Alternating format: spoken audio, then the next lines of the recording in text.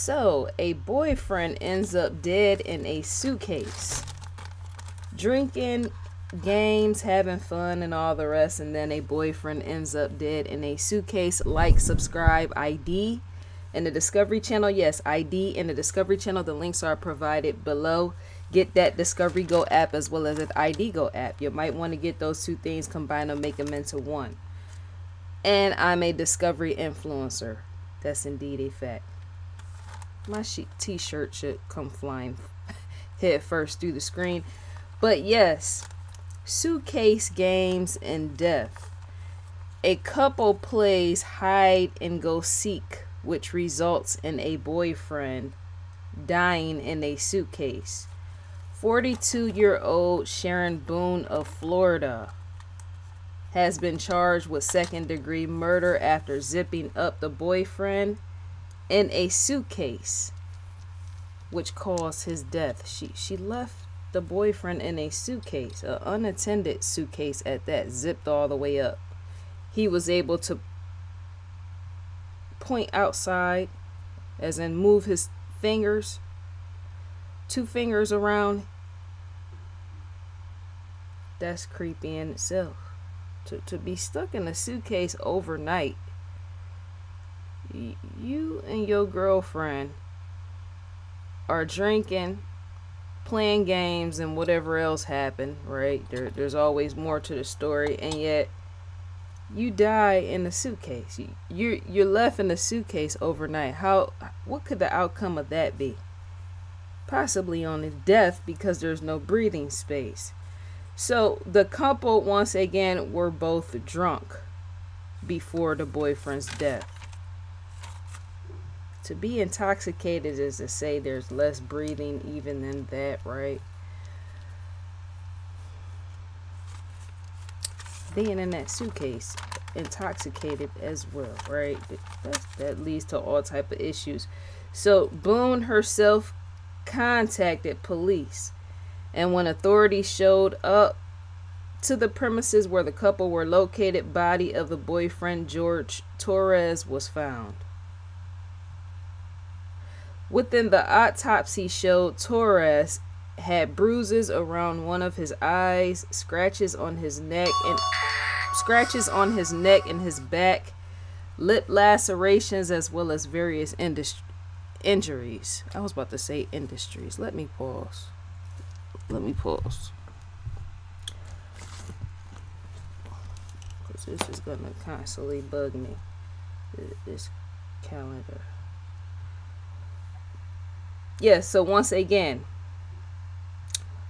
within the autopsy, showed Torres had bruises around one of his eyes, scratches on his neck and his back, and lip lacerations, as well as various injuries. I keep wanting to say industries, right?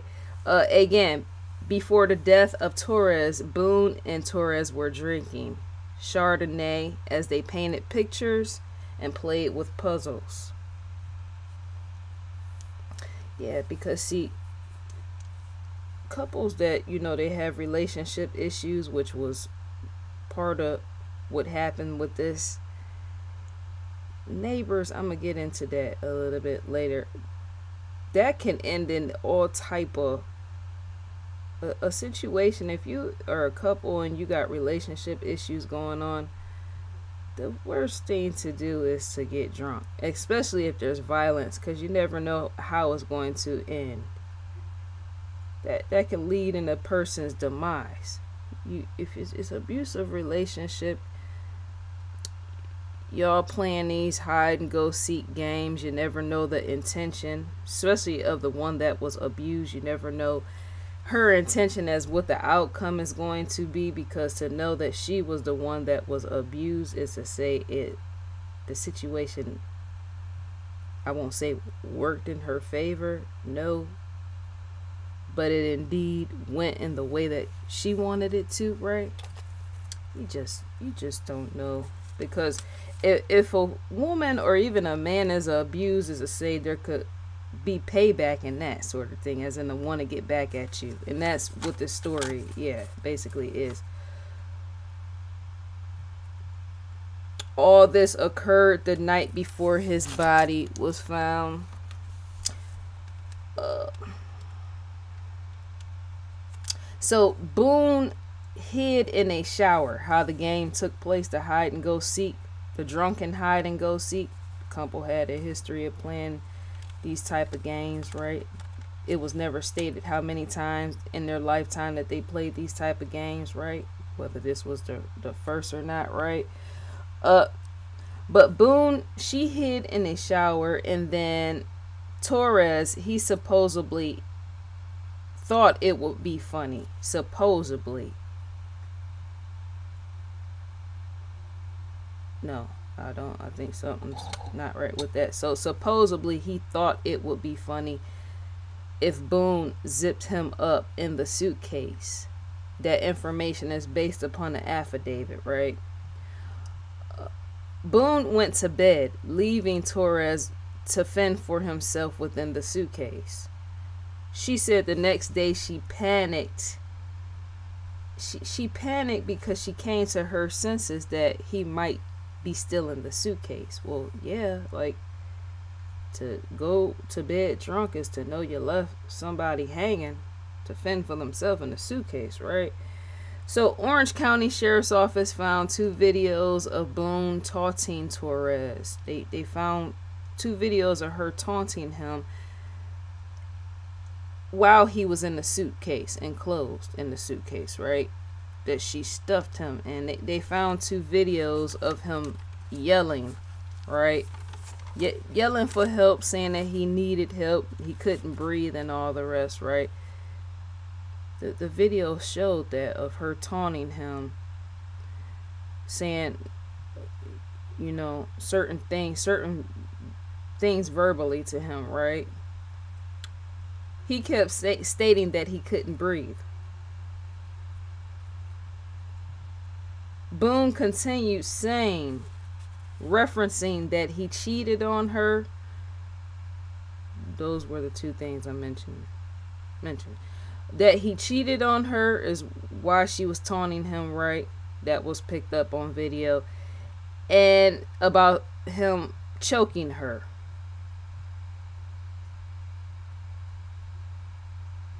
The, those are the two main reasons of the taunting as well as why she placed him in the suitcase. Or supposedly he thought it was funny to get in the suitcase, right?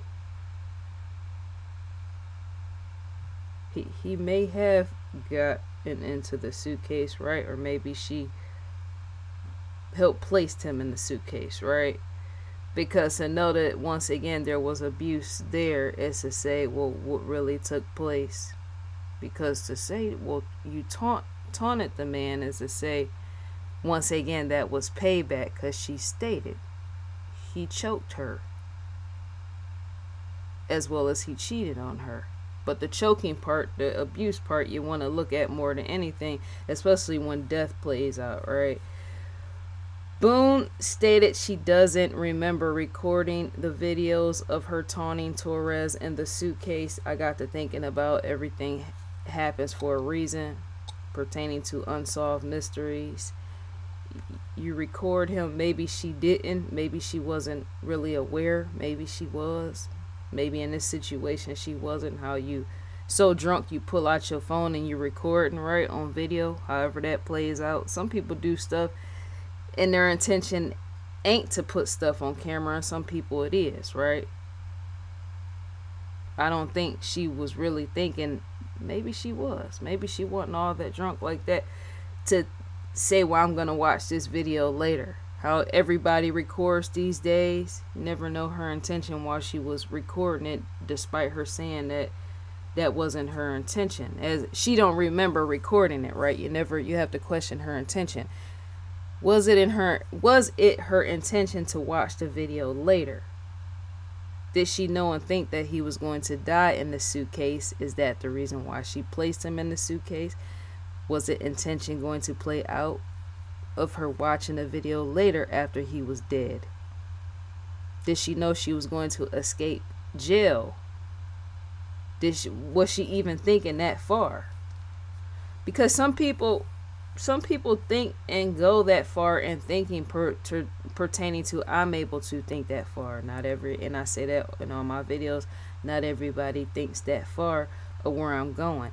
To know everybody's walking around with a camera phone, as I say, sometimes it's not always the intention to record. It has become a, a habit of people just taking out their phone and recording just random things not knowing death is going to play out later or maybe they do right? But most people don't have that intention in mind. Let me record because this is going to play out for later in court. This video is going to be used for me in court or against me in court. You see what i'm saying? Because she have had that on her mind. Thinking thinking that far out. Knowing that that very same video was going to be used uh, an examination in, in the courtroom. That's why you have to be careful with what you do. But if abuse was there, the only the reason why I have to bring that part up, the video and her intention of recording that is because even that from the beginning, what came to my mind and my senses is even that could give her less jail time. Because if he was abusing her, choking her, besides cheating on her, but say he was very, very physically abusive towards her, and say she tried to kill him in a sense uh, to protect herself in the form of self-defense, despite it wasn't self-defense. Maybe she wanted to put an end to all her misery of of uh, the abuse, or maybe she was just real angry at the fact that she was cheating on. But say she couldn't take the abuse anymore, right? Even that could possibly give her less uh, jail time. And this situation is looking like it's not going to happen, right? She might indeed face life, right?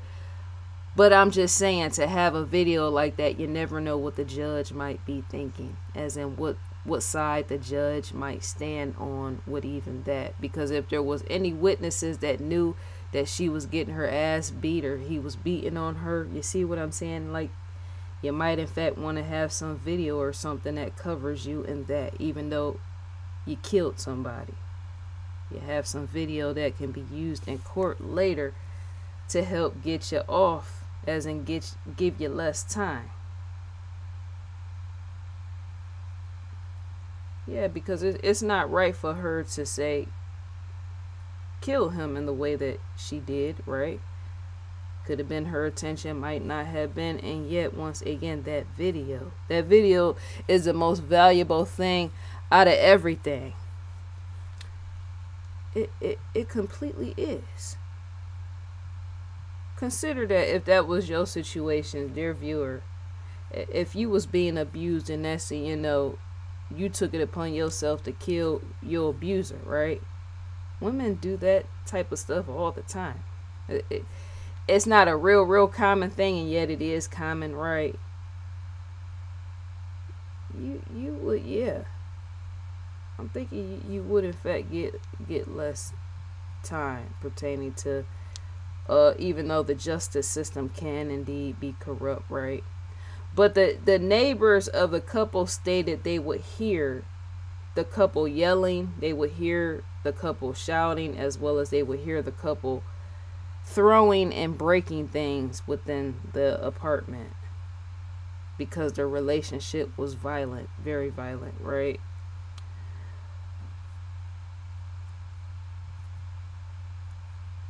And that's not to say that he was the violent individual. She could have been just as much as violent as him, right?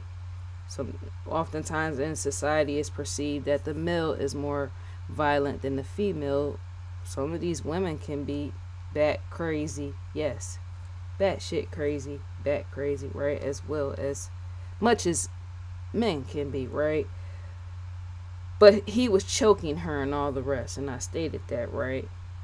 So it shows who was more of the aggressor, right? Boone, she faces life if convicted. She, she faces life if convicted of second degree murder. And Boone is held without bail. She's being she's being held without bail and she will face life. yeah, because see they the system sometimes is good, sometimes the system fails people, but I will be more looking more in depth in that to that, you know. People have histories, people have jail histories. Uh she might have more to that. She might could have had some issues as in record jail record i'm thinking it, it lays more on on his end yeah because see I, I get to thinking i was gonna say 50 years right? That would still be life for her right? That that still would be life for a woman that that age. I was gonna say well you know 50 years because to know that she's 42 and you give her 50 something years she'll be like in her 90s so even that's like life right? But say she wasn't abusive or anything like that say she wasn't the aggressor or anything like that i would think less time i say if he was really really beating on her right this she could have just been real angry. I said that about him cheating on her. But to know that the neighbors heard all that going on and all that breaking stuff and shattering stuff and the neighbors heard all that violence, right? Is to say it points more so on his end, right? I can see her the most I would give her is probably 20 years. 20 years. 25 years is pushing it. 20 years is about right. To make her serve her time. Uh, just enough to think pertaining to taking his life, but the abuse, even 15. Knock it down some 15 years will be enough. I'm, I'm saying. Yeah, some of these women don't really have violent tendencies or murderous tendencies, right? Some of them are just trying to escape a situation. Some of them can get out of a situation. Some people feel they stuck and can't leave situations, right? I'm just saying 15 to 20, no more than 25, because it wasn't like it was a, a crime of passion or anything like that. Something where you're just killing somebody just to, that, that goes on as well, as we know. Well, let me I can't live without him or her, so let me blow their lights out or get rid of them or trash them or something like that. Now that should be life in itself, right? That's something else. That's beyond the point, right? But yeah, with this situation, I, I would say about 15. 15 years. Anytime it's a couple in a, a, a relationship or something like that, and it ends and it's a situation like this, yeah, 15 to the max is the most. That's good enough time to sit in jail and think maybe I shouldn't have took the chance of getting with that person in the first place, right? Sometimes you never know who you're ending up with till you find out later, right? But that gives you that type of sentence, 15 years. 10 to 15 years is long enough for you to sit in jail and think, right? about your choices, what right or wrong choices to make, what choices not to make, right? And gives you enough time to, to serve, uh, as in the life that you've taken, right? As well as time enough to give you time to change your thinking processes as well as your habits and all the rest, as in decisions that you make. I said that like two or three times, right? That's enough to change a person, right?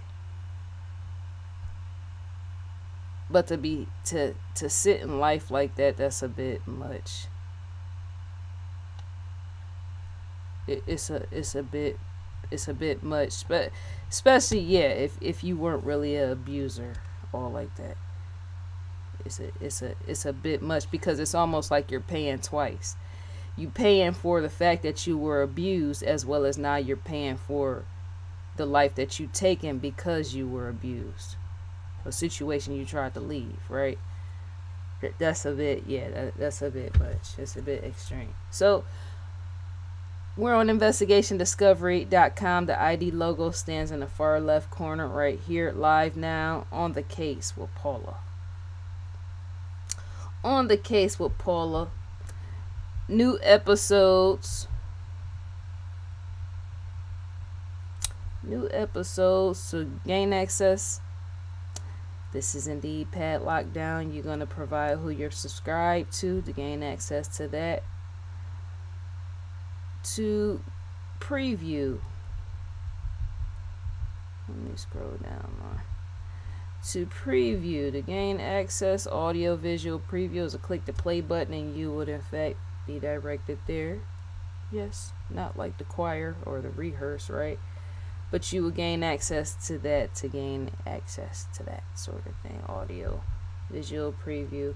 Uh, unlock series recommended for you. Shouts out to Lieutenant Joe Kenda as well as Paula.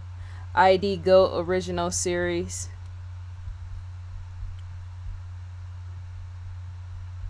Some people's, if you really pay attention close to people's uh mug shots, photos, and all the rest, it can tell you a lot about a person. When you look at Sarah Boone and her photo, let me say this first. To receive a newsletter from Investigation Discovery is to type your email address in it and click next. Type your email address in and click next. Right within here. Uh, some people's mugshots it, it can tell you a lot about a person.